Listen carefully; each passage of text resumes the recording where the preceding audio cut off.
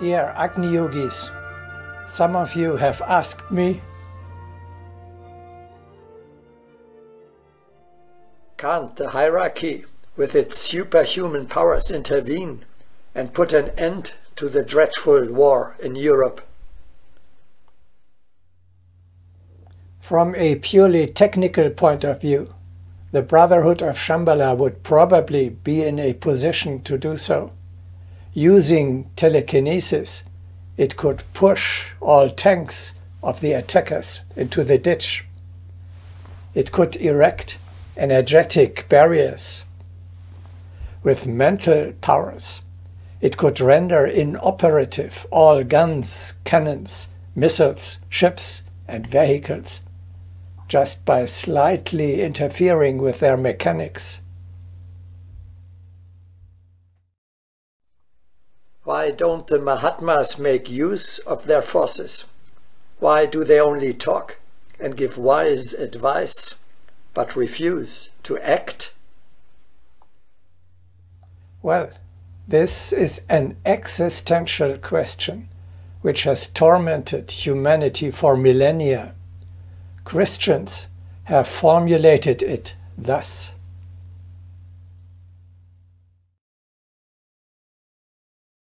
Why does the all-good and all-powerful God allow all this suffering on earth?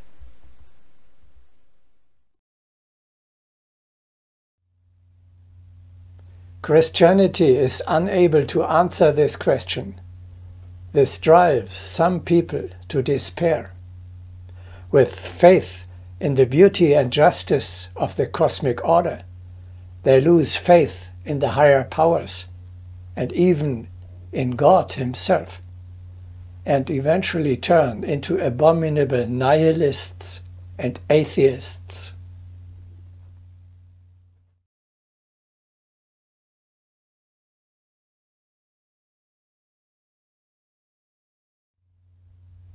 The cosmic order is beautiful and just. Those who cannot believe this must indeed despair of life.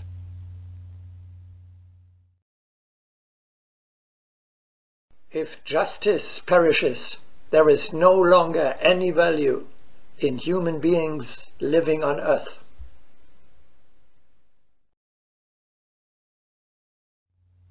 However, in order to realize this, you must know the laws of karma and reincarnation, which are explained in more detail in our broadcastings Karma, the law of cause, effect, and responsibility, and death and rebirth. The law of karma ensures that justice prevails Whoever commits wrongdoing will have to make amends for it. The victim either pays off karmic debts from the past or is given an opportunity to grow.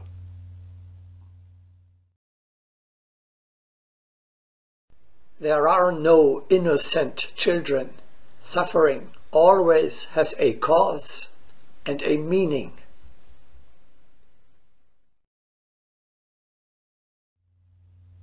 In this context, you should consider not only personal, but also family, group, national, and planetary karma.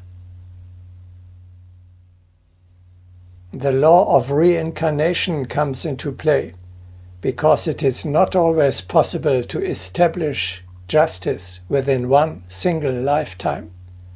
In this short period of time, the wrongdoer may get away scot free and will then be held accountable in one of his next incarnations. So you may rest assured no evildoer will be able to escape the effects of the causes he himself has set. The Brotherhood, even God, by the way, is bound by the cosmic laws. We shall now discuss the most important reasons why it does not intervene in the war in Europe.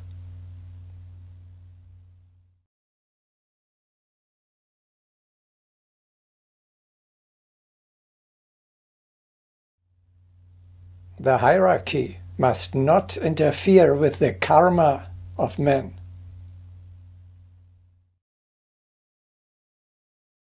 The forces of light never interfere with human karma. The forces of light observe human actions, giving the direction without intervening in life. Many are the examples of this. Messengers appear, warnings are sent, the direction is given, and the paths pointed out. But the choice of the designated possibilities is made by the human will.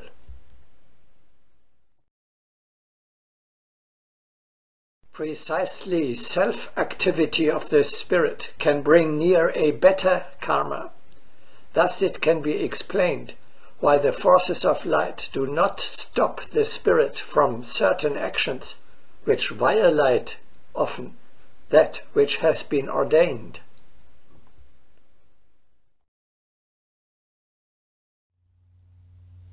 The Mahatmas are not allowed to impede the redemption of negative karma.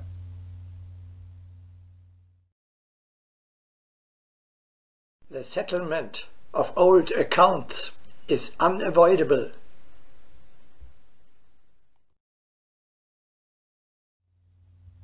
People themselves must remove the evil they have committed.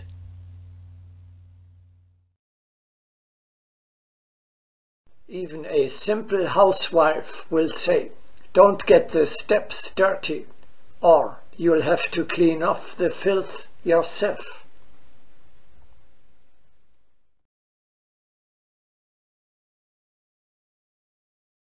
Do you mean to say that those attacked are themselves to blame for their misfortune? No, it is not that simple. How aggressor and defender are karmically intertwined is hard for us humans to perceive. Karma weaves an extremely complicated interrelation that cannot be resolved simply by forcing an end to the war.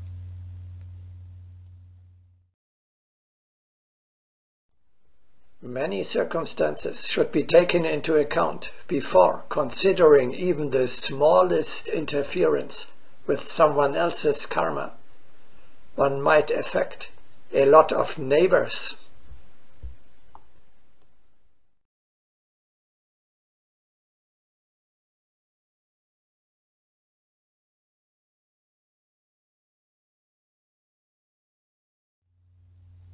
If hierarchy were to step in with its superior powers and end the war, it would deprive humanity of the possibility of taking a step towards growth. The war would be over, but we humans would not have made any progress at all. What really matters, however, is something quite different.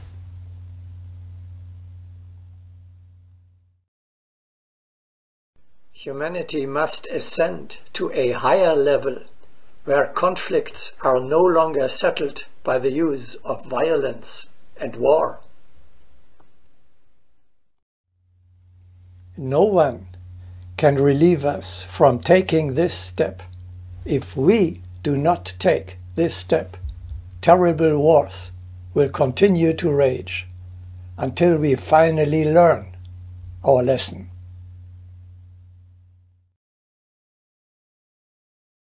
A population that still wages wars has only a poorly developed consciousness.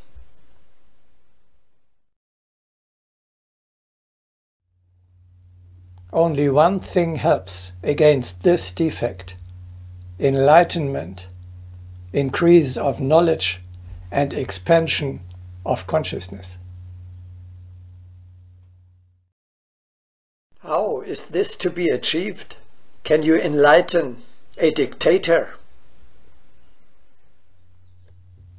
We need to raise the level of consciousness of the people, of the vast majority, at least of the ruling class. The method of the Mahatmas in the books of Agni Yoga is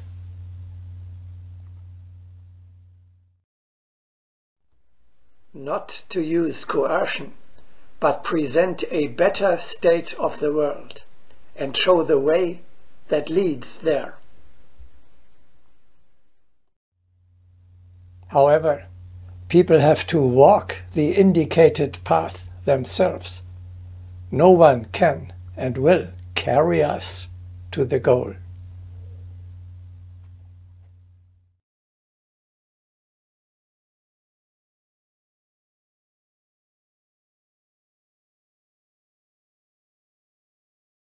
And if enlightenment does not work, then this principle applies. If people do not want to learn voluntarily, they must learn through suffering.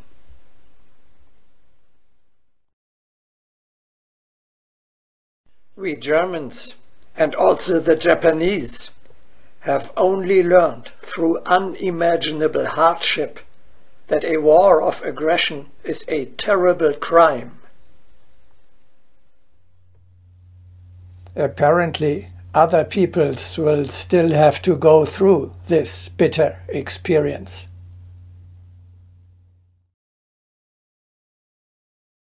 The noblest way to gain knowledge is through reflection and deliberation.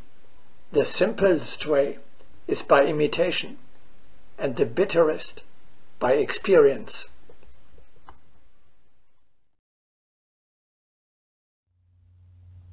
With this knowledge, you need not despair of the terrible events, but rather realize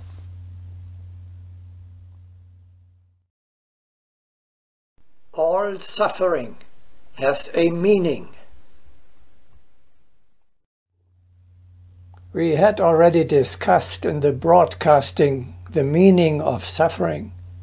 As long as the world is still imperfect, suffering is necessary. In a perfect world, there is no suffering.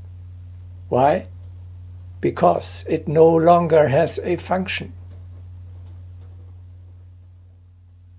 if the Mahatmas were to interfere, they would thwart the function of suffering. This would be like giving a painkiller which only removes the symptoms but not the cause of the disease. Not only would this not be sustainable, it would actually be harmful. The problem ignorance, the low level of consciousness of mankind persists and will get worse until we finally address and solve it.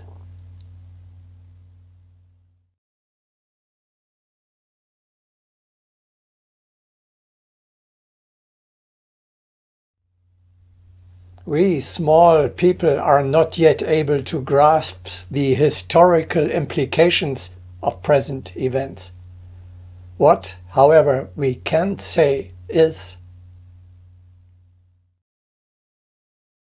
progress and the overcoming of chaos are to be fought for. In this struggle, sacrifices are inevitable. It is possible that the war will go down in history as the Ukrainian War of Independence. Then, as in the American War of Independence, every sacrifice for freedom will be worthwhile, however bitter it may be at the moment. Or the war will later be paid respect to as an uprising against a dictatorial oppressive regime. Like the uprising in the German Democratic Republic in 1953, of the Hungarians in 1956, or of the Czechs during the Prague Spring in 1968. In this case, too, suffering has a meaning. He who dies in such a battle is a hero. He contributes to the shaping of a better future.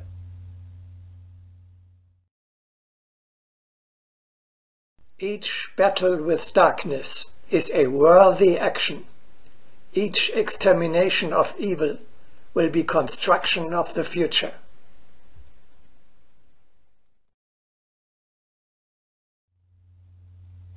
The situation is similar to the liberation of Europe from Nazi rule. At that time, for fear of death and destruction, many politicians shied away from confronting terror.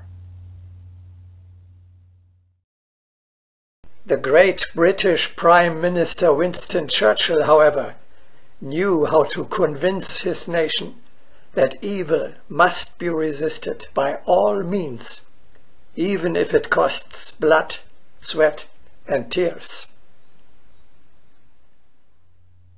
Today, everyone agrees World War II was a necessary, inevitable victory of the forces of light over the powers of darkness, serving the good of humanity in the long run. The sacrifices even if they numbered in the millions, were justified, because we must recognize if we allow chaos to rule, the result will be even more suffering.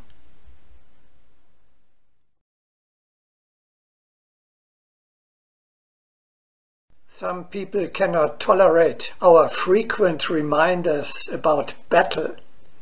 But for you, without need of hypocritical palliation, it may be said that the battle of light against darkness proceeds incessantly. Many warriors help in this battle, otherwise we again would be engulfed in chaos.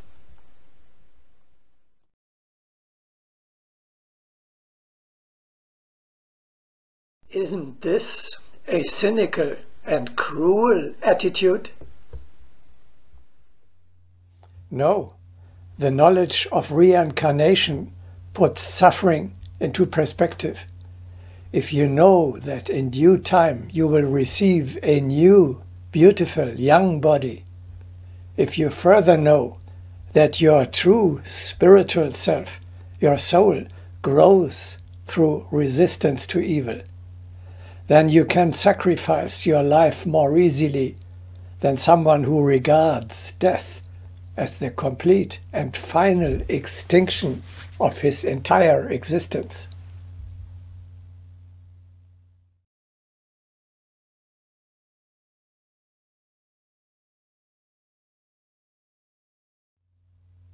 Here is a law you should know.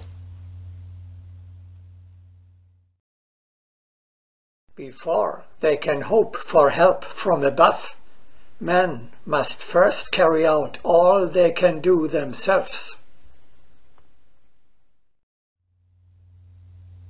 Higher help comes at the very last moment at best.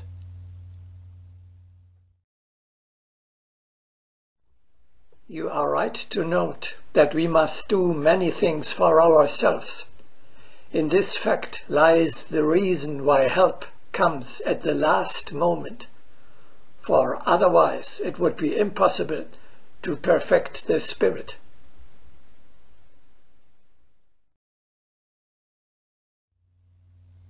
It is not the task of the Brotherhood to produce what we must do ourselves. A humanity that sits on the sofa and watches while someone else is doing the dirty work for us, would fall into degeneracy.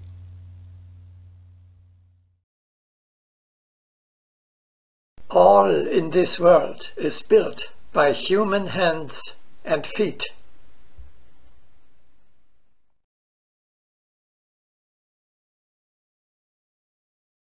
A fine example of higher help in the process of adopting the American Declaration of Independence was spoken of in our broadcasting, the Brotherhood of Shambhala.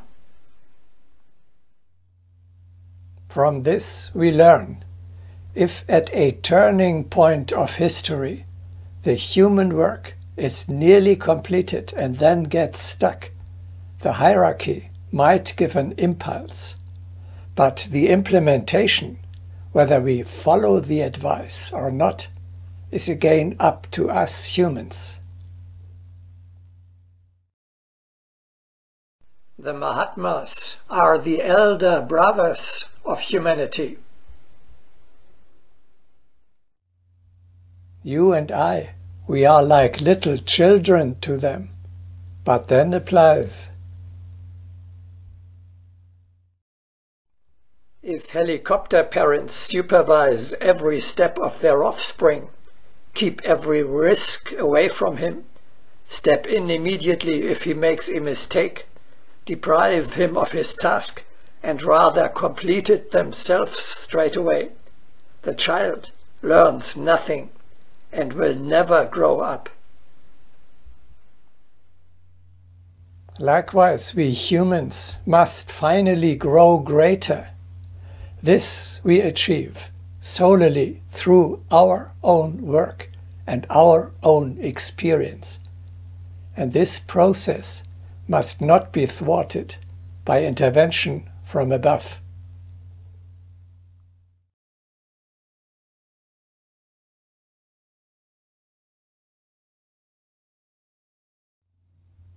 The most important reason for the Mahatmas not interfering with the war in Europe is freedom.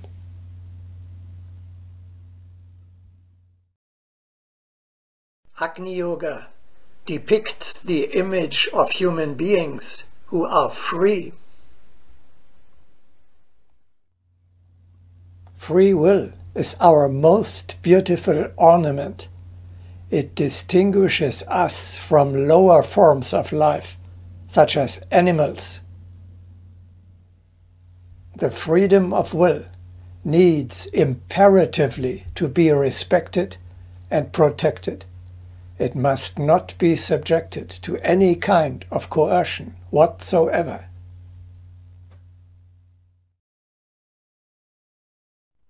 One should in no way violate the free will of people. The teaching of light transforms life when the spirit voluntarily recognizes the necessity of ascent. People will improve and attain by themselves. In the history of mankind, one can see how the spirit of people finds its way toward light.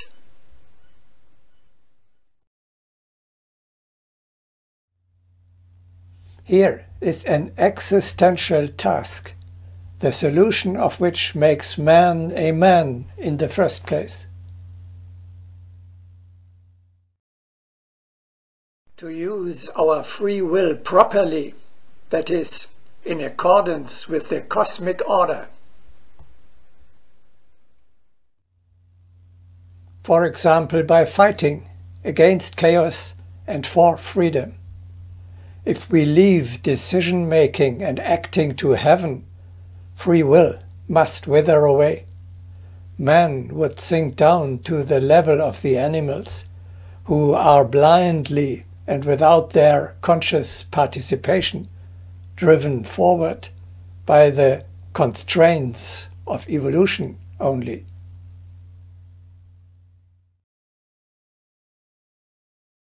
The dignity of man lies precisely in the fact that he is free to shape his own destiny.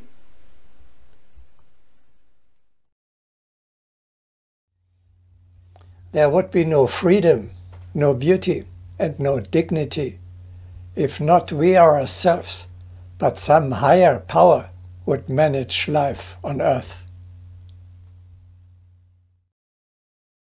Then we would only be soulless robots or puppets dancing to the tune of someone else.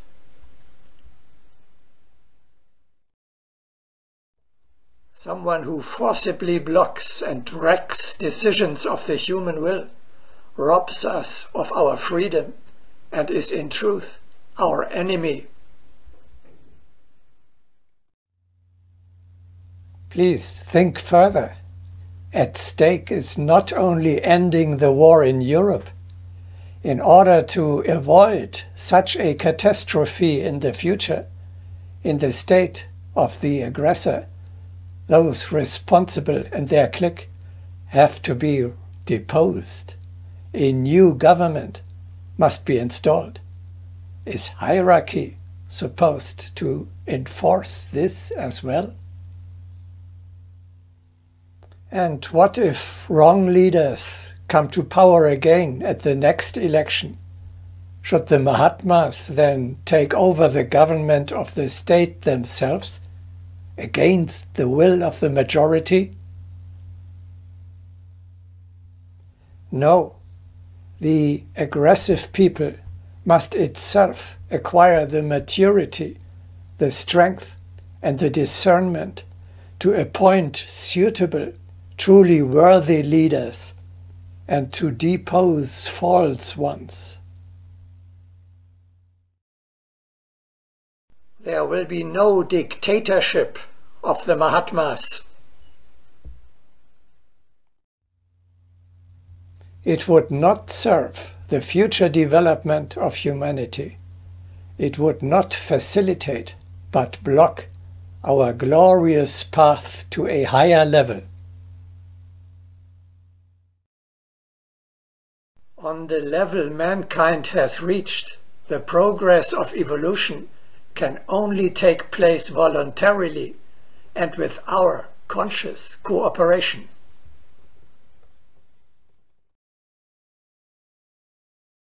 Didn't you speak of the new world as the reign of the brotherhood on earth, as it existed in ancient Egypt?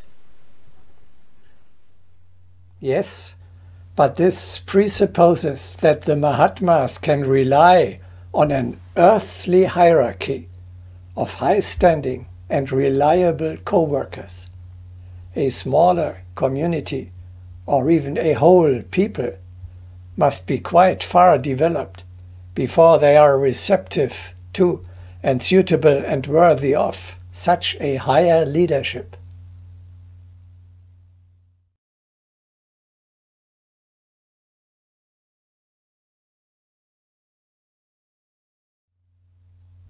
Freedom necessarily requires assuming responsibility for one's actions. If man has greater freedom than, for example, the animals, he also has greater responsibility. Freedom without responsibility would be a cosmic monstrosity.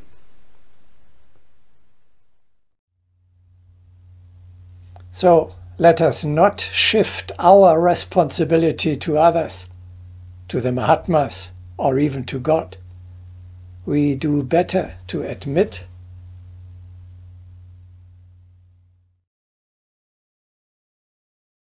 Man alone and no one else is responsible for all the terrible suffering on earth.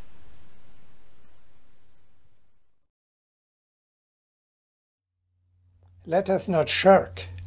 Man alone and no one else is entrusted with the task of improving conditions and reducing suffering on earth.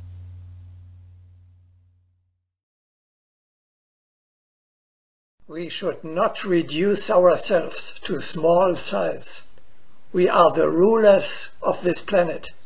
The fate of the earth is in our hands.